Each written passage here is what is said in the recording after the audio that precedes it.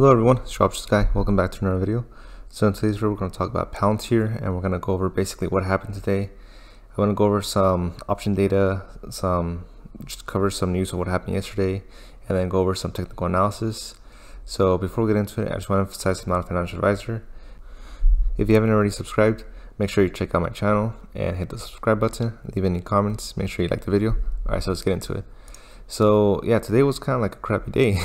um, everyone was excited over the contract that they got yesterday with Army. Contract about 800 eh, million plus contract and it was pretty big contract. And then I was even talking about it yesterday in my last video. I was like oh look it's surging in the after hours but most likely what's going to happen is on the pre-market people are going to sell. There's going to be profit takers. If you're an option guy you know like good for you. You're going to see those gains. And that's kind of like what happened basically. So it, in the pre-market it, it jumped back down to like 7% um, in the pre-market and it was initially around 14% and then basically like on market open it just started going down. And then like well within like the first hour or so it just basically came back down to like only a couple cents uh, search. And then it ended up just basically just having only a 37 um, cent search which is still I mean technically good. It still ended up green. It's, it's still above it went up 1.59 percent so I think a lot of people just took advantage of the, the whole contract news and the hype. And usually it causes Palantir to surge in the pre-market and then everyone just like takes out um, or locks in the profits and everything. So that's basically what happens. So it's nothing new. If you're if you're already a long-term investor in Palantir, this is somewhat expected.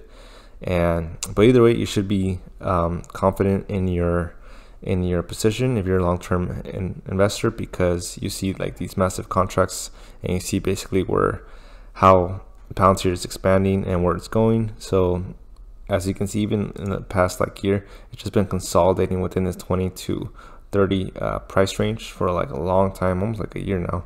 So um, prepare to to expect some upside, uh, especially if if they're if the earnings coming up in uh, next month in November 11th, if the earnings is really good, you know, expect to see some upside there. Either way, still up up 160% this past year, which is still crazy good.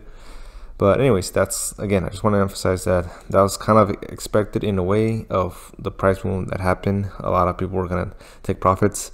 If you were doing covered calls, then that kind of sucks for you. If you covered early and then you rolled out your position, you probably should have waited at least at least 30 minutes in or 30 to an hour in is usually what I like to do because that way you get a, a, good feel of like where it's heading. Uh, there's usually a lot of volatility like the first 30 minutes to an hour. After that, it kind of just dies down, and then from there you should be able to kind of see like where it's heading. It somewhat stabilizes at least during that day.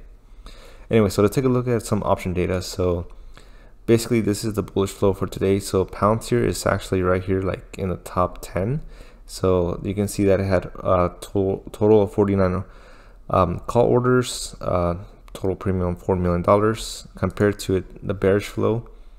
You can see Palantir is right here. It only had 20 orders that were bearish, 1.6 million in premium. So if we take a quick look at basically like like what happened overall in the bullish flow.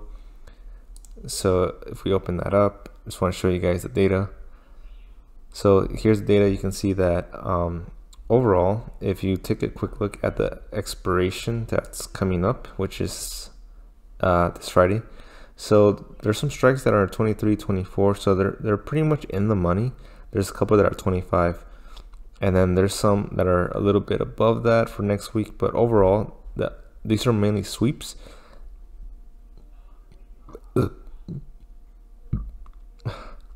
So when I start seeing sweep orders, that usually means that uh, these traders are trying to get in as early as possible. It's it's usually uh, they expect to to see at least um, a a short term price movement. So uh, when I see all these sweeps, I and especially with the expiration coming up, I feel like there might be like um, a huge upside coming.